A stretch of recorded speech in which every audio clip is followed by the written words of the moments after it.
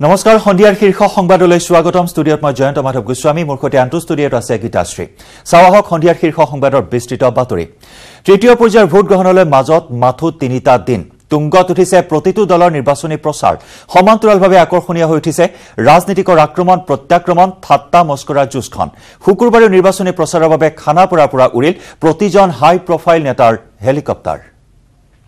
Sir प्रिय- प्रियंका गांधी प्रचार में आई थी कोई वो कौन है प्रियंका गांधी प्रचार में आई थी कोई वो कौन है ৰাজনৈতিক আক্ৰমণ প্ৰত্যাক্ৰমণ ঠাট্টা মস্কৰা নৱকৰণীয়া এই মানুহবিলাকক যদি ভোট দিওঁ তেওঁলোকৰ ইঞ্জিনটো ক'ত লাগিব পিছফালে লাগিব নিৰ্বাচনী প্ৰচাৰ সভাত ৰাজনৈতিক নেতাৰ ভাষণেৰে গৰম ৰাজনৈতিক আবহাৱা ড- ডনাল্ড ট্ৰাম্পকো আনক। ইয়াত কোনো পৰিৱৰ্তন নহয়। প্ৰথম দুটা পৰ্যায়ৰ ভোটগ্ৰহণৰ পিছত তুংগত উঠিছে নিৰ্বাচনৰ তৃতীয় পৰ্যায়ৰ প্ৰচাৰ। কোকৰাঝাৰ বৰপেটা ধুবুৰী গুৱাহাটী।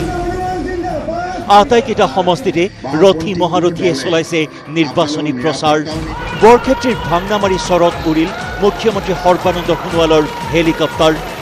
গুৱাহাটী লোকসভাৰ বিজেপি প্ৰাৰ্থী কুইন উজাৰ হৈ প্ৰচাৰ চলালে মুখ্যমন্ত্ৰীজনে। কংগ্ৰেছক সমালোচনা কৰি মুখ্যমন্ত্ৰীৰ ভাষ্য বিজেপি চৰকাৰ থকালৈকে চিন্তা নাই সংখ্যালঘু লোকসকলৰ। যেতিয়ালৈকে বিজেপি চৰকাৰ অসমত থাকিব তেতিয়ালৈকে সকলো ইছলাম ধৰ্মীয় লোক সম্পূৰ্ণৰূপে সুৰক্ষিত। চৰাঞ্চলৰ প্ৰচাৰ সভাত মুখ্যমন্ত্ৰীক সংগ দিলে বৰক্ষেত্ৰীৰ বিধায়ক নাৰায়ণ ডেকাই সৰভোগতো মিত্ৰজোঁটৰ বৃহৎ নিৰ্বাচনী সভাত অংশগ্ৰহণ কৰে মুখ্যমন্ত্ৰী সৰ্বানন্দ সোণোৱালে। হাগ্ৰামা মহিলাৰী অতুল বৰা বিশ্বজিৎ দৈমাৰীৰ সৈতে প্ৰচাৰ চলালে কোকৰাঝাৰৰ মিত্ৰজোঁটৰ প্ৰাৰ্থী প্ৰমীলা ৰাণী ব্ৰহ্মৰ হৈ।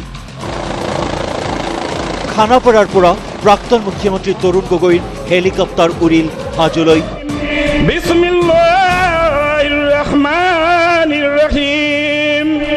গুৱাহাটী সমষ্টিৰ কংগ্ৰেছ প্ৰাৰ্থী ববিতা শৰ্মাৰ হৈ প্ৰচাৰ চলালে তৰুণ গগৈয়ে। হাজোতটো জিকিবই ঠিক তেনেকৈ ৰেকিবুদিনতো বহুত জিকিবই। বাকী সকলোতে জিকিব এতিয়া দেখি। যে যোৱা পোন্ধৰটা বছৰত আমি যি কাম কৰিলোঁ যিখিনি উন্নয়ন হ'ল আজি সকলো উন্নয়ন বন্ধ হ'ল।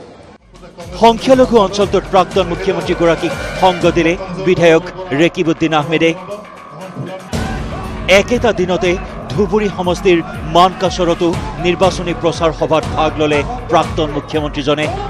প্ৰদেশ কংগ্ৰেছৰ সভাপতি ৰিপুণ বৰায়ো শুকুৰবাৰে ভাগ ল'লে কোকৰাঝাৰ আৰু বৰপেটাৰ দুখনকৈ নিৰ্বাচনী সভাত। কোকৰাঝাৰ সমষ্টিৰ ভিন্ন প্ৰান্তত প্ৰচাৰ তীব্ৰতৰ কৰি তুলিছে বিজেপি মিত্ৰজোঁটৰ প্ৰাৰ্থী প্ৰমীলা ৰাণী ব্ৰহ্মই। বি টি চিৰ বাহিৰে ভিতৰে একেদিনাই আঠখন প্ৰচাৰ সভাত ভাগ লয় বি পি এফৰ প্ৰাৰ্থীগৰাকীয়ে আঠটামান আছে। আঠটামান আছে বি টি চিৰ ভিতৰত চাৰিটা বাহিৰত চাৰিটা। মুছলপুৰত অনুষ্ঠিত প্ৰমীলা ৰাণীৰ প্ৰচাৰ সভাত দেখা গ'ল শ শ মহিলাৰ উপস্থিতি।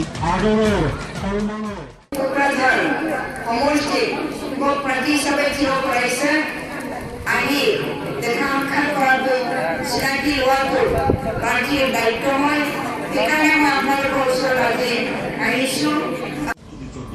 প্ৰমীলা ৰাণী ব্ৰহ্মৰ সমান্তৰালভাৱে কোকৰাঝাৰ সমষ্টিৰ বিভিন্ন প্ৰান্তত চলিছে নিৰ্দলীয় প্ৰাৰ্থী তথা সাংসদ নৱশৰণীয়াৰ প্ৰচাৰ।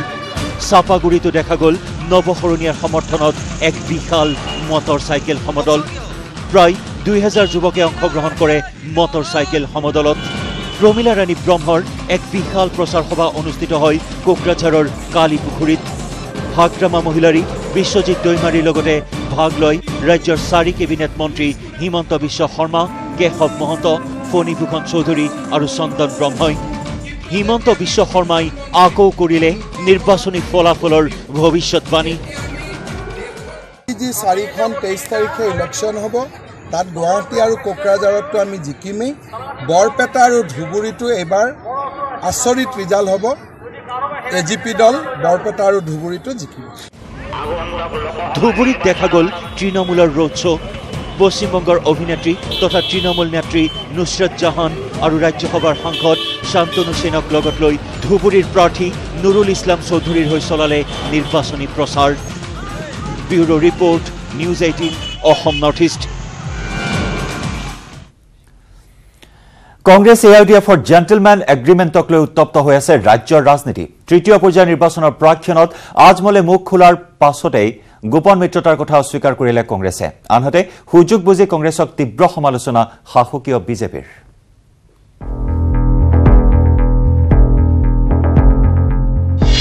নিউজ এইটিনত বদৰুদ্দিন আজমলৰ বিস্ফোৰণ।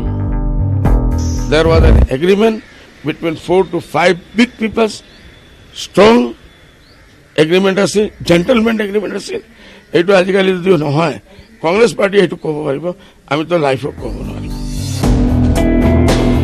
কিন্তু জেণ্টলমেন এগ্ৰিমেণ্ট কৰি আজমলক বিশ্বাসঘাতকতা কৰিলে কংগ্ৰেছে। আমি এঘাৰটা চিট কংগ্ৰেছৰ কাৰণে এৰিছো। কংগ্ৰেছৰ লগত যিমান হৈছিল ইসকলে মোৰ লগত বিত্ৰে কৰিছে গদ্দাৰী কৰিছে আৰু এইটো কৰাৰ কাৰণে আজি মোক হাৰোৱাৰ কাৰণে ইসকলে গল্লিয়ে গল্লিয়ে তৰংগ হিচাপ গৈ আছে।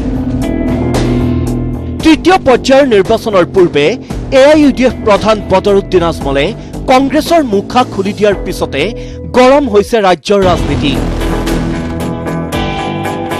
এ আই ইউ ডি এফে প্ৰাৰ্থী তালিকা ঘোষণা কৰাৰ পূৰ্বে ৰহস্যজনকভাৱে মৌনতা অৱলম্বন কৰিছিল তৰুণ গগৈয়ে।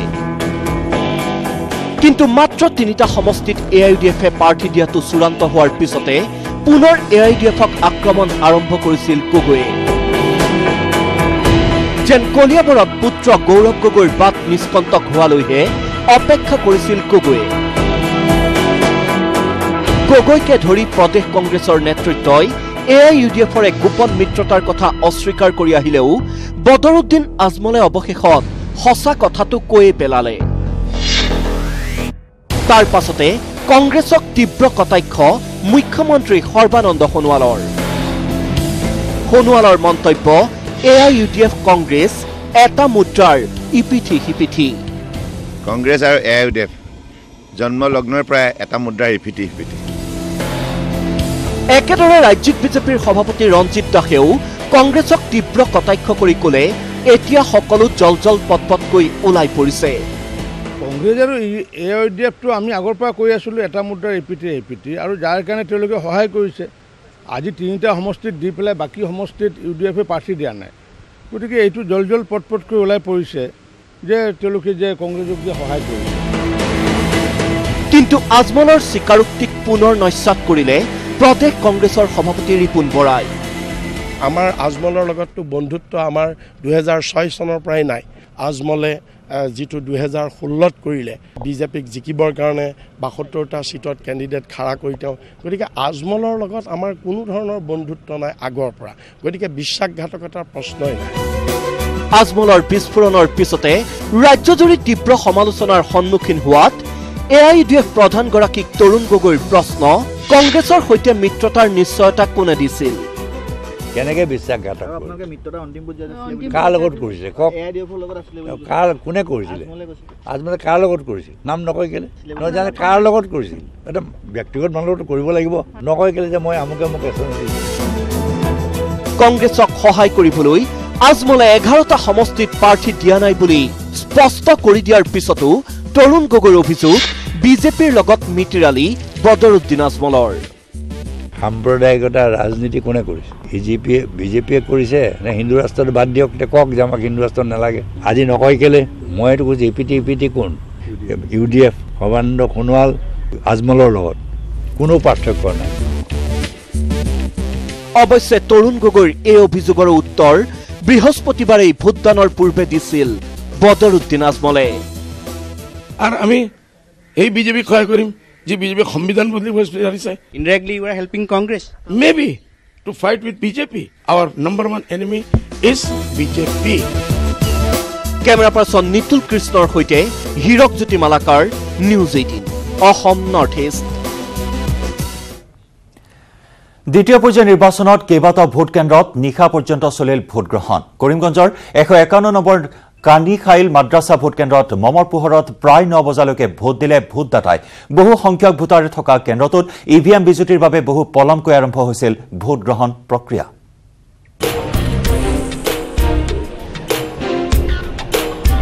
এফালে মম জ্বলিছে। এফালে মোবাইলৰ টৰ্চ। তাৰ মাজতে ভোটাৰে ই ভি এমৰ বুটাম টিপিছে। কৰিমগঞ্জৰ এশ নম্বৰ কানিচাইল মাদ্ৰাছা ভোটকেন্দ্ৰ কেতিয়াবাই পাঁচ বাজি গ'ল। ভোটদান চলিয়ে আছে। ভোটকেন্দ্ৰত নাই পৰ্যাপ্ত পোহৰৰ ব্যৱস্থা। কোঠাৰ একোণত জ্বলিছে এডাল মম। প্ৰিজাইডিং বিষয়া পলিং বিষয়াৰ হাতত মোবাইলৰ টৰ্চ চলিছে তেতিয়াও বাহিৰত ভোটাৰৰ দীঘলীয়া লাইন। এনে ভোটকেন্দ্ৰটোত ভোটাৰ বেছি। তাতে ই ভি এম বিকল হোৱাৰ বাবে দিনৰ চাৰে দহ বজাৰ পৰাহে আৰম্ভ হয় ভোটগ্ৰহণ ফলত এই অৱস্থা। প্রতি বছরই আমাদের এই সেন্টারটার মধ্যে অসংখ্য পরিমাণ ভিড় হয় এবং ভোট দিতে আমাদের অনেক দেরি হয়। আমাদের পঞ্চায়েত ইলেকশনের সময় দেখেছি, এমন কষ্ট করেছি আমরা। এখন মশা আমাদেরকে কামড় দিচ্ছে। দিনের বেলা মধ্যে প্রখর রৌদ্রে আমরা দাঁড়িয়েছিলাম। এর মধ্যে ইভিএমে কিছু ত্রুটি বিচ্যুতি ধরা পড়েছিল। সেই জন্য অনেক দেরি হয়েছে। এখন এই অবস্থা প্ৰত্যেকবাৰ যদি হতে থাকে আমৰা তো অনেক কষ্ট কৰে যাব। নিৰ্ধাৰিত সময়ত ভোটকেন্দ্ৰটো বন্ধ কৰিব বিচৰাত সৃষ্টি হৈছিল ভোটাৰৰ ক্ষোভৰ। আৰক্ষী চি আৰ পি এফ বাহিনী মোতায়েন কৰিহে নিয়ন্ত্ৰণলৈ অনা হয় পৰিস্থিতি। আৰু তাৰ পাছত পৰ্যাপ্ত পোহৰ অবিহনেই চলি থাকিল ভোটগ্ৰহণ ইভিএম খাৰাপৰ জন্য সাড়ে দশটাৰ সময় ভোট শুৰু হয়েছিল হ্যাঁ এখন দিনটা কি রোদ্রে ছিল?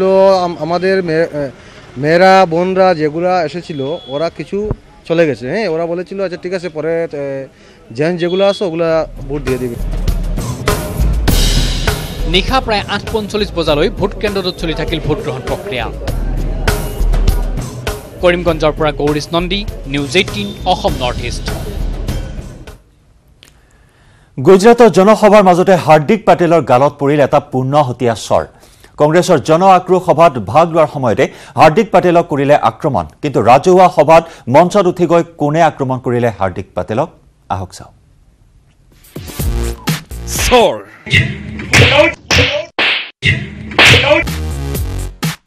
নিৰ্বাচনৰ বতৰ। মঞ্চত নেতাৰ ভাষণ। ভাষণত দলৰ জয়গান নেতাৰ গুণগান। সন্মুখত তন্ময় চিত্তে দলীয় সমৰ্থক ভোটাৰ। তেনে সময়তেই মঞ্চলৈ উঠি আহিল ভাষণ শুনি থকা এইজন ব্যক্তি। আহিয়েই প্ৰচণ্ড জোৰে সোধালে চৰ কংগ্ৰেছ নেতা হাৰ্দিক পেটেলৰ গালত চৰ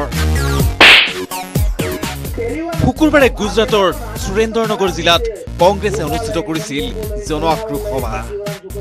এই জন আক্ৰোশ সভাত ভাষণ দিবলৈ গৈ জন আক্ৰোশৰ বলি হ'ল খুদ কংগ্ৰেছ নেতা হাৰ্দিক পেটেল। হাৰ্দিক পেটেলক চৰ সোধোৱাৰ লগে লগে আক্ৰমণকাৰী ব্যক্তিজনক ধৰি বান্ধি হাৰ্দিক পেটেলৰ সমৰ্থকেও কৰিলে প্ৰহাৰ। পিছত গতাই দিয়ে আৰক্ষীৰ হাতত। ইতিমধ্যে চৰিওৱাৰ ঘটনাক লৈ হাৰ্দিক পেটেলে আৰক্ষী থানাত তৰিছে গোচৰ। পাটিদাৰ নেতা হৈ যোৱা মঞ্চত কংগ্ৰেছত যোগদান কৰি ইটোৰ পিছত সিটো অথন্তৰৰ সন্মুখীন হৈছে হাৰ্দিক পেটেল। বৃহস্পতিবাৰেও নিৰ্বাচনী প্ৰচাৰ চলাবলৈ যাওঁতে এজন কৃষকৰ পথাৰ হেলিপেড হিচাপে ব্যৱহাৰ কৰাত বাধা দিছিল কৃষকজনে। হেলিকপ্টাৰ অৱতৰণ কৰিবলৈ পথাৰ এৰি নিদিয়াৰ বাবেই কেইবা কিলোমিটাৰ খোজকাঢ়ি প্ৰচাৰ চলাবলগীয়া হৈছিল হাৰ্দিক পেটেলে। National desk news eighteen Assam north east. দুদিন ধৰি নিখোজ কিশোৰীৰ মৃতদেহ ব্ৰহ্মপুত্ৰত উদ্ধাৰৰ পিছতে আৰক্ষীয়ে ক্ষীপ্ৰতাৰে আৰম্ভ কৰিছে এতিয়া তদন্ত। কিশোৰীগৰাকীক হত্যাৰ সন্দেহত আৰক্ষীয়ে আটক কৰিছে ইতিমধ্যে এজন যুৱকক। ইপিনে হত্যাকাৰীক দৃষ্টান্তমূলক শাস্তি প্ৰদানৰ দাবীত ৰাজপথলৈ ওলাই আহিল ঘাৰঘুলিৰ মহিলা সমাজ।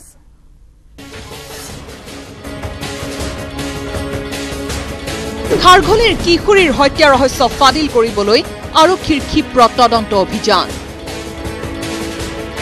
ঘটনাৰে জড়িত থকাৰ সন্দেহত এজনক আটক। এতিয়াও মুকলি আকাশৰ তলত ধৰ্ষণকাৰী হত্যাকাৰী। আৰক্ষীৰ হাতত পৰিছে নতুন নতুন চাঞ্চল্যকৰ তথ্য। News eighteen exclusive.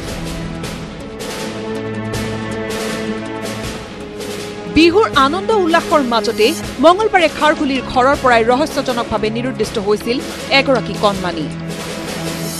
নিশালৈ কণমানিগৰাকী ঘৰলৈ উভতি নহাত পৰিয়ালে কাষ চাপিছিল লতাশিল আৰক্ষীৰ। সম্পূৰ্ণ দুটা দিনৰ মূৰত বৃহস্পতিবাৰে খাৰঘুলিৰ জয়পুৰৰ নদীত উদ্ধাৰ হৈছিল কিশোৰীগৰাকীৰ মৃতদেহ। কিন্তু শেষবাৰৰ বাবে কোনে ক'ত দেখিছিল কিশোৰীগৰাকী? ষোল্ল এপ্ৰিলৰ দিনা দিনৰ বাৰ বাজি আঠ মিনিটত খাৰঘুলিত থকা এই ডিভাছ ৰেষ্টুৰেণ্টখনলৈ আহিছিল সেই কিশোৰগৰাকী। লগত তিনি সহযোগীৰ সৈতে কিশোৰগৰাকীয়ে এই ৰেষ্টুৰেণ্টখনত খাইছিল চাহ আৰু চিঙৰা। আৰু বাৰ বাজি আঠ মিনিটত কিশোৰগৰাকীয়ে এই ৰেষ্টুৰেণ্টখনত অহাৰ পিছত বাৰ বাজি একৈছ মিনিটত পুনৰ এই ৰেষ্টুৰেণ্টখনৰ পৰা ওলাই গৈছিল কিশোৰীগৰাকী। তাৰ পিছৰে পৰা হঠাৎ ৰহস্যজনকভাৱে নোহোৱা হৈছিল কিশোৰীগৰাকী। সম্পূৰ্ণ দুটা দিনৰ মূৰত এনেদৰে পানীত উপঙি থকা অৱস্থাত একাংশই প্ৰত্যক্ষ কৰিছিল কিশোৰীগৰাকীৰ মৃতদেহ। ধৰ্ষণ কৰি হত্যা কৰা হ'ল নেকি? কিশোৰীগৰাকীক কি ওলাইছে আৰক্ষীৰ প্ৰাথমিক তদন্ত ডেড বডিটো যিটো পোৱা গৈছে সেইটো হিচাপত ধৰ্ষণ কৰিছে বুলি আমি ক'ব নোৱাৰোঁ। আৰু নহয় বুলিও ঠিক নকওঁ কিন্তু যিটো হিচাপত বডিটো পোৱা গৈছে সেইটো হিচাপত ধৰ্ষণ হৈছে বুলি ক'ব নোৱাৰোঁ। কিশোৰীৰ হত্যাকাৰীক দৃষ্টান্তমূলক শাস্তিৰ দাবী শুকুৰবাৰে ৰাজপথলৈ ওলাই আহিল খাৰগুলিৰ জয়পুৰৰ একাংশ মহিলা। আমি চবেই ওলাই আহিছোঁ এনেকৈ যেন মানে শাস্তি দিয়ক এনেকুৱা যেন ঘটনা নহওক আৰু এনেকুৱা শিশু যেন আৰু কোনোদিন এনেকুৱা ঘটনা নহয় প্ৰশাসনৰ ওচৰত বিচাৰ খুজিছোঁ মানে মানে যিটো শাস্তি দিয়ক নাবালিকা হত্যাকাৰীক। ইপিনে কিশোৰীগৰাকীৰ হত্যাৰ সন্দেহত লতাশিল আৰক্ষীয়ে এজন লোকক আটক কৰাৰ বিপৰীতে থানালৈ তলব কৰিছে বহুকেইজনক তাৰ মাজত আমি সন্দেহ কৰিছোঁ তেখেতক সোধ পোছ কৰা হ'ব বাকী কেইজনমানক মই মাতিছোঁ। সোধ কৰিবৰ কাৰণে। এজন মানুহক উঠোৱা হৈছে। আৰক্ষীৰ সঠিক তদন্ততহে হয়তো পোহৰলৈ আহিব। কিশোৰীৰ মৃত্যুৰ আঁৰৰ ৰহস্য? কেমেৰা পাৰ্চন প্ৰশান্ত বৰুৱাৰ সৈতে Bhaskar Jyoti Hazarika news eighteen Assam north east মহানগৰীৰ মাজমজিয়াত সংঘটিত হ'ল এটা চাঞ্চল্যকৰ ঘটনা। ডাউন টাউনৰ মীনাক্ষী লজৰ বন্ধ কোঠাত উদ্ধাৰ হৈছে বহিৰাজ্যৰ এজন লোকৰ উৱলি যোৱা এটা মৃতদেহ। আৰক্ষীৰ সন্দেহ তিনিটা দিন পূৰ্বে মৃত্যু হৈছিল লোকজনৰ। কিন্তু এতিয়া ৰহস্যৰ আৱৰ্ততে আছে সমগ্ৰ ঘটনা। গুৱাহাটী মহানগৰীৰ লজত পুনৰ উদ্ধাৰ মৃতদেহ। ডাউন টাউনৰ মীনাক্ষী লজত উদ্ধাৰ এজন ব্যক্তিৰ মৃতদেহ। আৰক্ষীয়ে প্ৰকাশ কৰা অনুসৰি তিনিদিনমান পূৰ্বে মৃত্যু হৈছে এই লোকজনৰ। কিন্তু লক্ষণীয়ভাৱে এতিয়াও পলাতক অৱস্থাত আছে এই লজখনৰ কেয়াৰটেকাৰ থানেশ্বৰ কলিতা। এয়া মহানগৰীৰ ডাউনটাউনস্থিত মীনাক্ষী লজ লজটোৰ এই কোঠাৰ মাটিত পৰি থকা অৱস্থাত উদ্ধাৰ হৈছে এজন লোকৰ মৃতদেহ। লোকজন বাংগালুৰুৰ শ্ৰীনিবাস ৰাঘৱন নৰসিংহ। আৰক্ষীয়ে সন্দেহ কৰা অনুসৰি তিনিদিনমান পূৰ্বেই মৃত্যু হৈছে লোকজনৰ। তেওঁৰ নাম হ'ল শ্ৰীনিবাস ৰাঘৱন। তেওঁৰ তামিলনাডু একচুৱেলি ঘৰ। আৰু চাৰিদিনমান হ'ব লাগে চাৰিদিনমান হ'ব লাগে যে ফুলি গৈছে একদম। গতিকে এতিয়া আমি পষ্টমৰ্টেমৰ কাৰণে পঠাই দিম। পষ্টমৰ্টেম আমি ৰিয়েল ফেক্টটো আমি গম পাম যে কেনেকুৱা কি হৈছিলে মানে। কিন্তু এয়া হত্যা নে আত্মহত্যা? লগে লগে উন্মোচিত হৈছে কেইবাটাও দিশ। কিয়নো তিনিদিন ধৰি কোনো সুংসূত্ৰ নাই লজখনৰ কেয়াৰটেকাৰ থানেশ্বৰ কলিতা। অন্তৰ্ধান লজখনৰ ৰেজিষ্টাৰ বুক। ৰেজিষ্টাৰ বুকখনৰ সৈতে বেগটো তেওঁ কাপোৰ ভৰাই লৈ গুচি গ'ল। সেইকাৰণে ইয়াত আমি একো পোৱা নাই। খালি জাষ্ট কাৰ্ড এখন পাইছোঁ তেওঁ বেগত। কোনে লৈ গৈছে? যিজন আছিলে কলিতা বুলি। নীলাক্ষী গোস্বামী নামৰ এই মহিলাগৰাকীয়ে চলোৱা এই লজটোৰ কোঠাত তিনিদিন ধৰি মৃতদেহ পৰি থকাৰ পিছতো উৱলি যোৱা মৃতদেহটোৰ গোন্ধতহে গম পালে লজ কৰ্তৃপক্ষই। ৰাতিপুৱাই তেওঁলোক তলা মাৰি পেলাই মেডিকেললৈ ওলাই গুচি যায়। গতিকে চব ৰুম চাফা কৰিব নোৱাৰে। বাথৰুম চাথৰুম যিবিলাক থাকে এইবোৰ চাফা কৰি পেলাই ওলাই গুচি যায়। আৰু যোনে তলা মাৰি থৈ যায় সেই ৰুমবোৰ চাফা নহয়। আৰু তেখেতৰ ৰুমটোৰ কথা মই ক'ব নোৱাৰিম কিন্তু মই নাছিলোঁ। মহানগৰীৰ লজত মৃতদেহ উদ্ধাৰ হোৱা ঘটনা এয়াই প্ৰথম নহয়। একেদৰে প্ৰথম নহয় এই লজসমূহে নীতি নিয়ম নমনাটো। ওঠৰটা কোঠাযুক্ত ডাউনটাউনস্থিত মীনাক্ষী লজত আছিল মাত্ৰ এজনেই কেয়াৰটেকাৰ লজখনত নাই কোনো চি চি টিভিৰ ব্যৱস্থা। দিছপুৰ আৰক্ষীয়ে ইতিমধ্যে এই ঘটনাৰ তদন্ত আৰম্ভ কৰিছে। পলাতক কেয়াৰটেকাৰ থানেশ্বৰ কলিতাৰ সন্ধান পালেহে স্পষ্ট হ'ব বহু দিশ কেমেৰা পাৰ্চন মানৱজ্যোতি কলিতাৰ সহযোগত গুঞ্জন কলিতাৰ report news eighteen Assam north east. বঙাইগাঁৱত সংগীতানুষ্ঠান সামৰি উভতাৰ পথতে নিশা দুৰ্ঘটনাত পতিত হয় কণ্ঠশিল্পী সুবাসনা দত্তৰ বাহনখন। দুৰ্ঘটনাত মেনেজাৰগৰাকীৰ লগতে আহত হৈছে কণ্ঠশিল্পীগৰাকী ৰঙিয়াৰ একত্ৰিশ নম্বৰ ৰাষ্ট্ৰীয় ঘাইপথত নিয়ন্ত্ৰণ হেৰুৱাই পথৰ দাঁতিত বাগৰি পৰিছিল সুবাসনা দত্তৰ বাহনখন।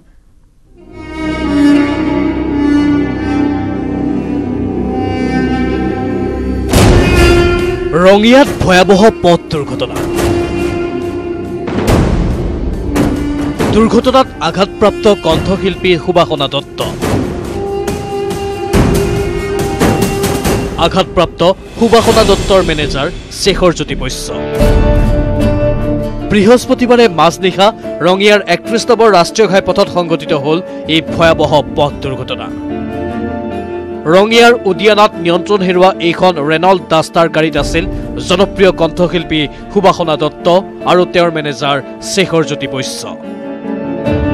বঙাইগাঁৱত সংগীতানুষ্ঠান সামৰি গুৱাহাটীলৈ উভতাৰ পথত মাজনিশা এই দুৰ্ঘটনা সংঘটিত হয়। নিয়ন্ত্ৰণ হেৰুৱাই পথৰ দাঁতিত বাগৰি পৰে গাড়ীখন। ফলস্বৰূপে আহত হ'ল জনপ্ৰিয় কণ্ঠশিল্পীগৰাকী আৰু তেওঁৰ মেনেজাৰ শেখৰ জ্যোতি বৈশ্য। হঠাৎ আমাৰ গাড়ীৰ সন্মুখেৰে দুখন চাইকেল পাৰ হৈ যায়।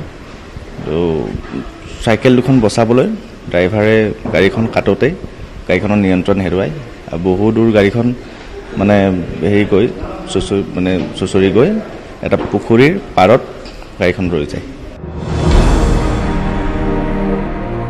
দুৰ্ঘটনাৰ ঠিক পাছতেই মহানগৰীৰ বৰাগাঁও এক্সেল কেয়াৰ হস্পিটেলত চিকিৎসাধীন কৰা হ'ল শিল্পীগৰাকী।